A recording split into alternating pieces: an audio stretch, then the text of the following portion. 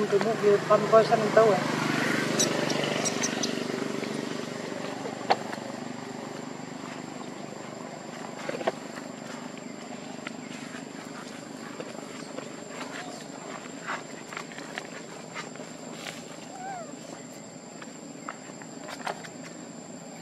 Bah, ini terlalu ya.